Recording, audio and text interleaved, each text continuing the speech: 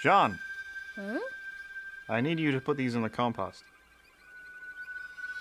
Good boy, John.